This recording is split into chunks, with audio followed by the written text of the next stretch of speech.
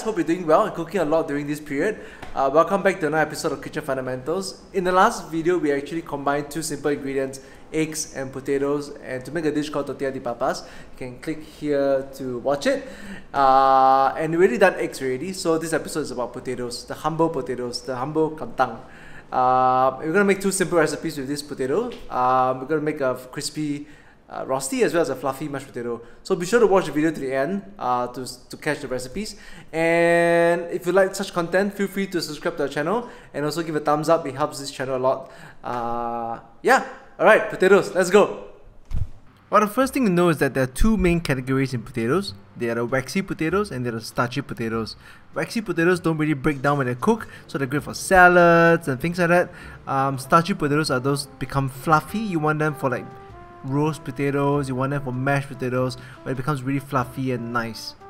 Here we have two kinds of potatoes, one on the left it's sort of a medium waxy and on the right it's a russet potatoes. While there are thousands of types of potatoes around the world, in Singapore you're quite limited to two main kinds of potatoes in the supermarkets. You find the all-purpose yellow kantang curry potatoes and you also find russet potatoes which is meant which is the starchy ones. Here are some of the typical names you'll find for waxy and starchy potatoes in Singapore. Depending on the dish you want to do, you gotta use the right potatoes for the job. Uh, I'll put a link to our blog for some examples of what kind of potatoes to use.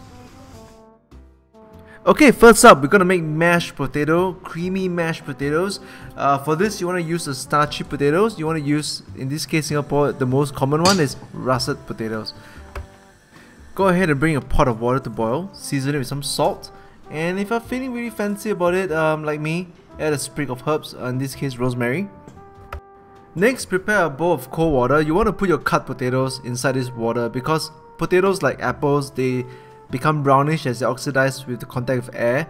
Uh, nobody wants to eat a brown mashed potatoes. You want it to be creamy and white.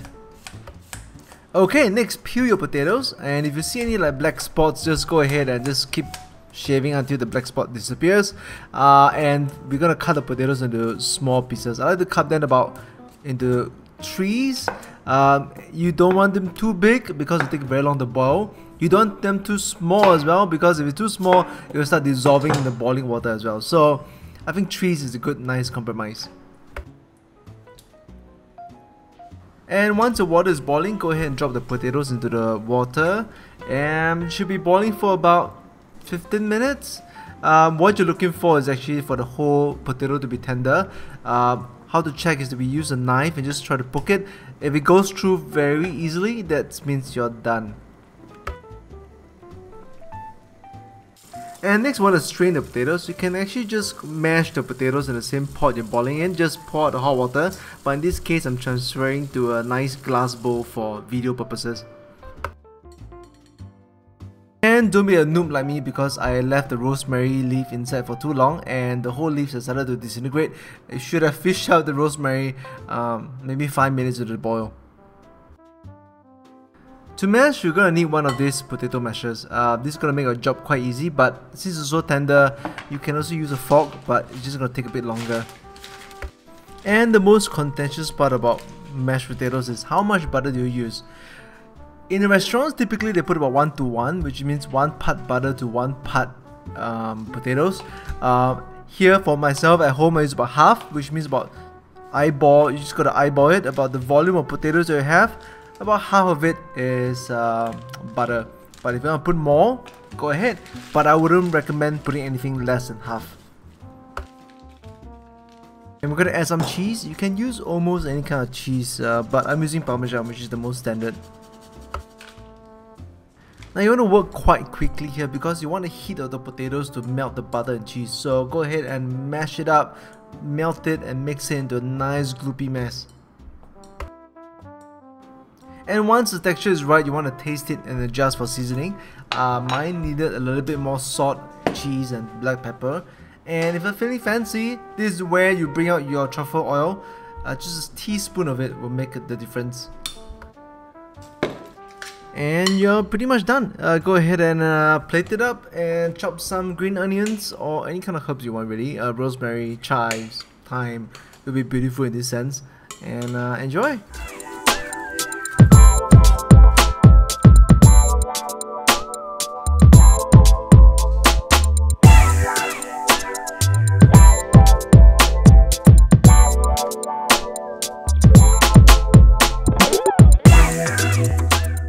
Up next, how to make crispy rosti. I love rosti since the Marche days. It's a long queue but it's so delicious but it's also the cheapest thing there is in Marche and here's how to make it.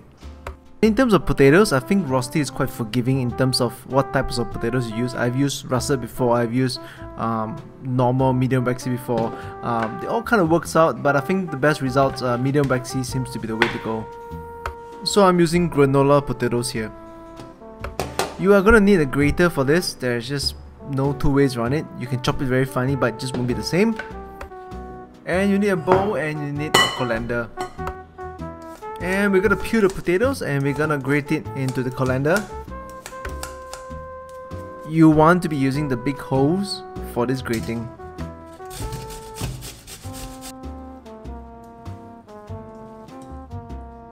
Now in order to make the rosti crispy, we need to remove the, all the excess water from the potatoes. So we're gonna use some salt, a big pinch of salt, uh, mix it into the grated potatoes and let it sit for 5 minutes.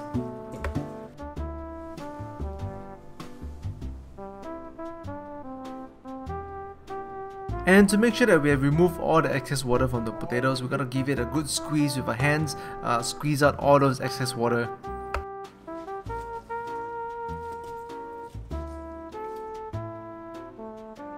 Uh, to make your life easier, you want a pan that's non-stick. Okay, let's get cooking. So you want to preheat your pan on a medium heat. Uh, put some butter on the pan. You want enough butter that it coats the entire surface of the pan. And once the butter is bubbling, you can put the potatoes inside. Um, and you once inside, you want to sort of flatten it into a nice flat pancake. So we're cooking this for about 2 or 3 minutes. What we're looking for is for the sides to be brown. The little edges where it's brown, when it's brown it tells us that the bottom is brown as well. Uh, and it's ready to flip. So keep an eye on the edges. It should be bubbling with oil just a little bit. If it's not, drizzle some oil on the sides just to make sure that it's sufficient oil you should really try to avoid the urge to sort of pick below the potatoes because that will tear the whole rosti apart. Try to avoid that. Once you've established there's browning on the sides, you can flip it. There's two ways to flip it. One is using a plate to flip it. The other way is just to toss it in the air and flip it like you see here, which I failed terribly. But yeah, yeah, you can do that too. Once flipped, you can go on for another 1 or 2 minutes just to cook the bottom side. Uh, I just want to get some browning on the other side and we are good to go.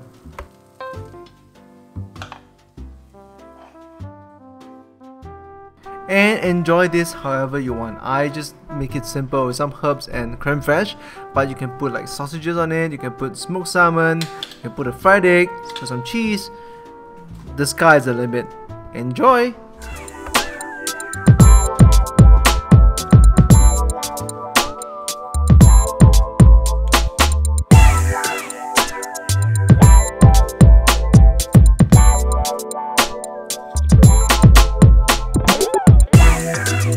Guys, thanks for watching. Hope you enjoyed the video. Let me know in the comments uh, what else you want to see from my channel as well. And uh, yeah, if you like this video, give it a thumbs up and subscribe. Uh, you can click here to subscribe or you can click here to watch more stuff from my channel.